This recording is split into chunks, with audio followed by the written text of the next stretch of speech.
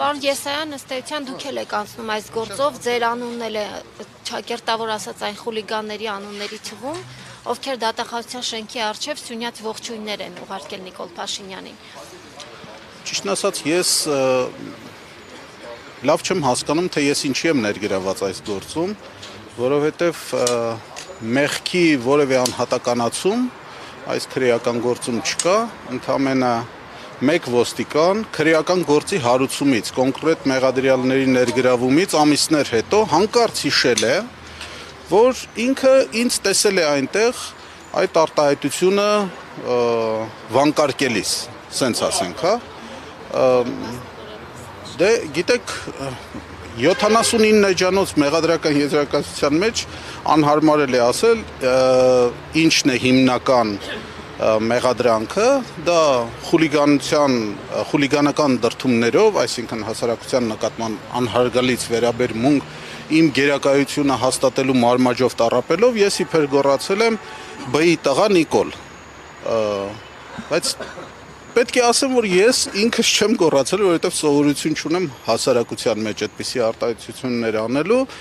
որը ամենևին չի նշանակում որ ես համաձայն չեմ այդ բնութագրման հետ երկրորդը Սա առաջինը մեղքի անհատականացման առումով, հա, երկրորդը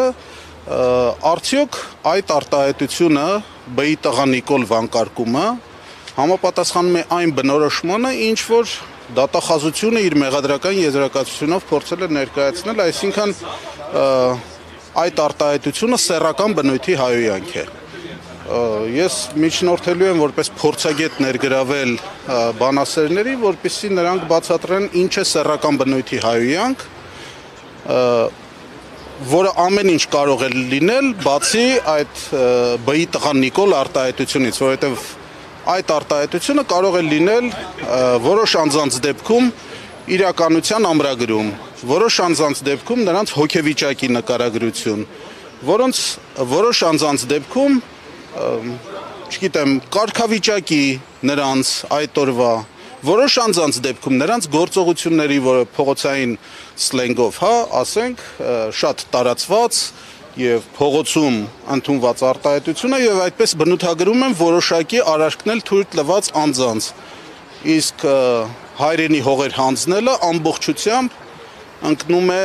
այդ բնորոշման հիմքում, բայց դա երբեք չի կարող համարվել սեռական բնույթի հայոյանք։ Ուրեմն սկզբից մինչև վերջ այս այս գործը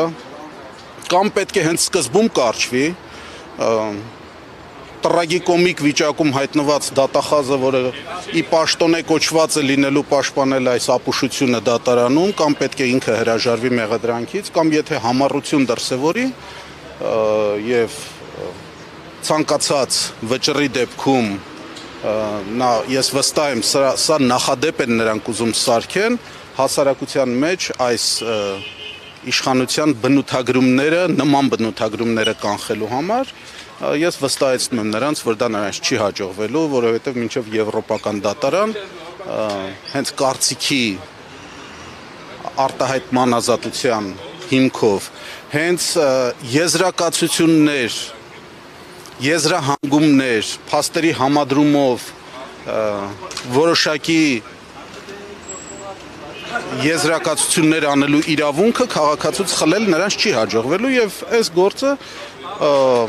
ամենավատ սցենարով հասնելու է մինչև եվրոպական դատարան։